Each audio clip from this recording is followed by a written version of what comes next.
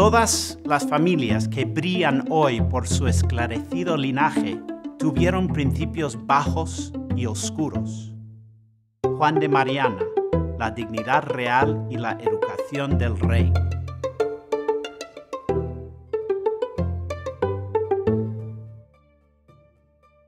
Hola amigos, bienvenidos de nuevo. Vamos a continuar con las fantasías de nuestro escudero y su mujer.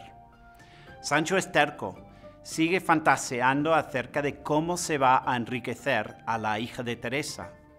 Te la pongo en toldo y en peana y en un estrado de más almohadas de velludo que tuvieron moros en su linaje los almohadas de Marruecos. El juego de palabras aquí está en el uso de almohadas, pero el error de Sancho alude a los moros almohades que habían conquistado Andalucía en el siglo XII.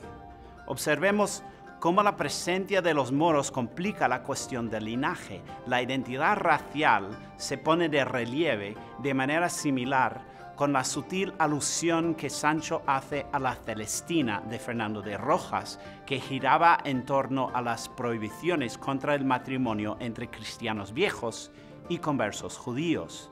Cuando Sancho dice que su esposa no está siendo razonable, como si estuviera pidiendo que Sanchica se arrojara de una torre abajo, se refiere al suicidio de Melibea en la novela de Rojas.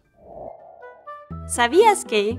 Hay tres fechas importantes respecto a la presencia musulmana en España. En 711, los moros invadieron la península ibérica. En 1492, los reyes católicos acabaron con la reconquista tomando el reino de Granada. Entre 1609 y 1614, Felipe III expulsó del sur de España a los moriscos, quienes eran cristianos con ascendencia mora.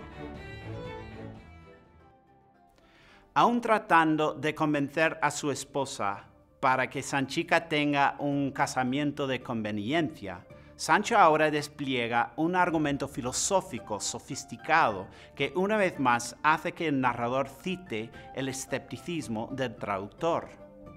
Sancho se convierte en un neoplatónico, argumentando que lo que una persona llega a ser en la vida triunfa sobre lo que podría haber sido en el pasado.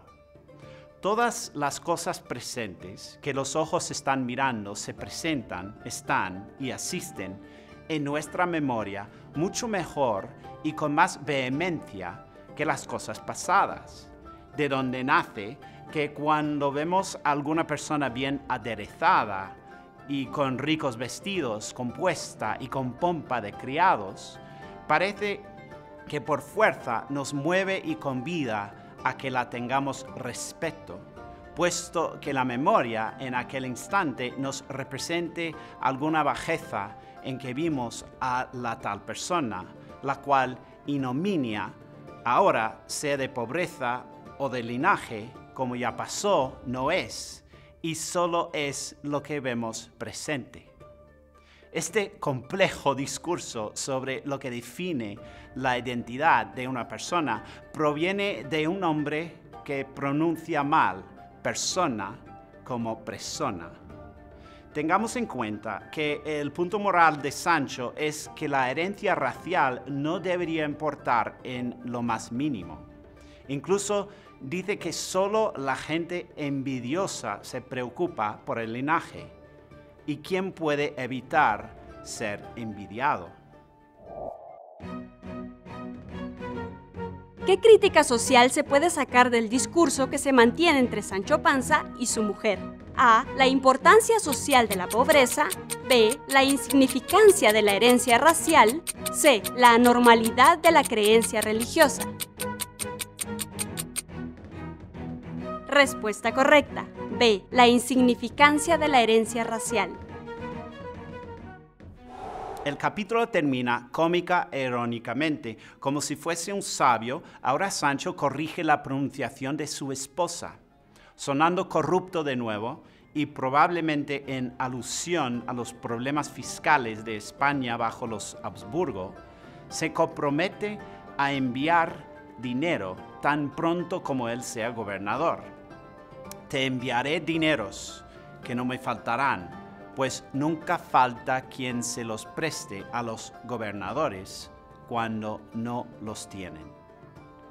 Cuando Teresa estalla en lágrimas, diciendo que el día que ella vea a su hija convertida en una condesa será el día en que su hija muera, el narrador transcribe la obstinadamente absurda respuesta de Sancho. La consoló diciéndole que ya que la hubiese de hacer condesa, la haría todo lo más tarde que ser pudiese. Teresa se rinde, pero su último comentario contiene un toque feminista. Con esta carga nacemos las mujeres de estar obedientes a sus maridos aunque sean unos porros. Por supuesto, todo esto es ridículo. Los dos padres están cantando victoria antes de que empiece la guerra.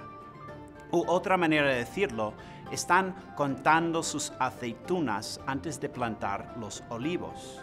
De hecho, todo este diálogo entre Sancho y Teresa parece derivar del famoso entremés de Juan Rana, las aceitunas, en la cual una campesina fantasea sobre su futura riqueza sin habérsela ni siquiera puesto en marcha. Bueno, eso es todo por ahora. Nos veremos en el siguiente vídeo. Si te gustó este vídeo y quieres continuar aprendiendo más acerca de Don Quijote, el Caballero Andante, puedes suscribirte.